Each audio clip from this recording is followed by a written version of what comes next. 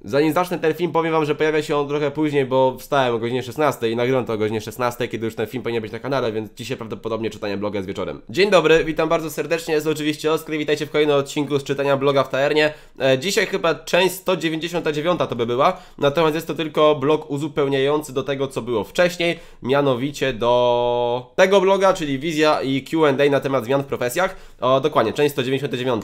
I od razu sprostuję już na początku, dlaczego tego bloga nie czytałem. E, słuchajcie, za dużo tego. I to QA jest po prostu ogromne i jakbym miał to wszystko czytać, też to jest swoją drogą nudne, e, no to by mi chyba, nie wiem, no, no szału bym dostał, nie? Bym wścieklizny się nabawił tutaj. Ja nie jestem aż tak e, aż tak skupiony na temacie, żeby to wszystko przeczytać, więc tego nie czytałem mm, dosyć świadomie. Natomiast ten blog jest spoko, jest krótki i sobie go przeczytamy. Blog ogólnie jest krótki, jest nim parę fajnych informacji, ma aktualizację przede wszystkim, mm, kolejną, która tam ma parę poprawek, no i Hetmana i to zaraz do tego dojdziemy. Zaczynajmy. Witajcie talerniczycy. Poprzedni wpis, który daliśmy nieco szybciej, gdyż nie chcieliśmy trzymać was w niepewności, był dość sążny. Zatem ten możecie potraktować jako dodatkowy, stricte informacyjny. Swoją drogą, kto jeszcze nie zapoznał się z odpowiedziami inżynierów na pytania po aktualizacji, to zapraszamy tutaj. Dokładnie, ja was też zapraszam, linki są w opisie, jeżeli chcecie sobie przeczytać Q&A, może wasze pytanie się pojawiło, to oczywiście zajrzyjcie w opis. Ja nie będę tego całego Q&A, tak jak powiedziałem, czytał, bo po prostu jest tego za dużo, jest tego ogromnie ogromnie dużo, dużo tekstu, więc po prostu sobie odpuściłem. Jednocześnie ekipa inżynierska zaangażowała się w odpowiadanie na forum na pytania dotyczące ostatnich zmian oraz dalszego kierunku rozwoju i balansu. Mamy nadzieję, że jesteście zadowoleni ze zwiększonej aktywności w tym zakresie. Okay. i teraz tak, po pierwsze jest restart, który przeprowadzili dzisiejszej nocy, z wtorku na środę.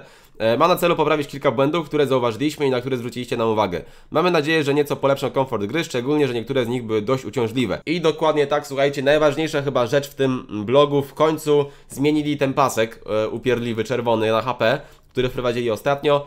E, część z Was zgłaszała, że dodatkowy pasek, który miał posłużyć do rozróżnienia HP nieulaczelnego do poziomu HP, bardziej utrudnia niż ułatwia rozgrywkę. Mianowicie odcienie koloru za bardzo zlewały się ze sobą, poprawiliśmy kolory i teraz powinno być już ok.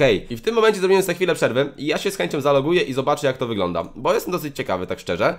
E, zaatakujmy sobie coś tutaj, jestem, dobra, jestem tu, przypuśćmy, ok. E, czy jak zaatakuję sobie niedźwiedzia i ten niedźwiedź mnie prawie zabije, może niekoniecznie trzech niedźwiedziów bym chciał atakować, jednego sobie zaatakujemy, dam się trochę pobijać i zobaczymy jak te HP teraz wygląda na żywo, bo jestem w sumie ciekawy. Tego ten niedźwiedź musi mi pobić. Zmieniło się coś? Jest chyba trochę mniej widoczne to HP. Chyba, chyba jest trochę lepiej, co jak sądzicie? Albo ja już mam z widy, nie wiem, w sumie tak za bardzo różnic nie widać. Nie no, teraz widać ładnie w sumie. Dobra, jest ok chyba, no. Nie wiem, napiszcie co sądzicie. Chyba, że ja czegoś nie rozumiem. Ale podobno to zmienili, teraz powinno być lepiej. Okej. Okay. Dość uciążliwym błędem było to, że na Admirale w przypadku skorzystania z kombinacji dodającej HP po utracie dodanych punktów życia druid nie był w stanie uzupełnić straty. Udało się wyśledzić problem i go załatać. Tak, tak. Nie byłem nigdy na Admirale, więc to sobie pominę. Kolejną kwestią były stare umiejętności Kiliana z prologu. Zostały zamienione na nowe. Podobnie poprawiliśmy opisy efektów nowych skilli, aby były w pełni zgodne ze stanem rzeczywistym. Poza tym przywróciliśmy serenie wysysanie kondycji sprzed update'u. Zaś cios wątrobiej został dodany do puli debuffów pokazywanych przez Goraga. Dobra, czyli generalnie są tutaj jakby poprawki poprawek, tak? E, wiadomo o co chodzi. No i tutaj jeszcze sobie piszą, że przeliczniki pozmieniali, tak nie będę wam tego za bardzo wszystkiego czytał. Na przykład tu był ciekawy błąd, że gdy boss sobie wrzucał wrażliwość na ogień, no to emo podnosiło to odporności, zamiast je obniżać. Ciekawe w sumie, nie?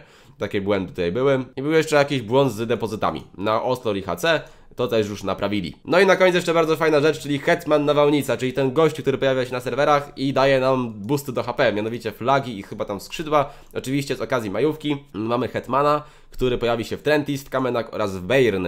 2 maja o godzinie 10 się pojawi i zniknie 3 maja chyba o godzinie 10. Dokładnie. No i oczywiście bardzo Wam polecam zalogować się w tym czasie na serwer i kupić sobie te skrzydełka, bo zależnie od levelu dostaniecie sobie boost do HP, który będzie trwał na miesiąc, więc to jest naprawdę duża wygoda. Mm, więc kupujcie i korzystajcie z tego oczywiście. I to chyba tyle. Tutaj na przykład GBS się pyta, kiedy usuniecie zakażenie z umek barbarzyńcy. To jest takie ciekawe pytanie. Mm, to wszystko. Jakby to Q&A, tak jak powiedziałem, nie będę go czytał. Chcecie, to sobie sprawdźcie. Tutaj mamy jakieś pytania. E, ja się z Wami żegnam. Dajcie znać znajomy, że się dużo dzieje w grze. Jak zawsze by to Nerwarium powiedział. Do zobaczenia, papa, cześć. Widzimy się oczywiście w piątek na questach, jeżeli chodzi o Taerna, a jutro na Minecrafcie, jeżeli chodzi o Minecrafta. Dobra, siemano.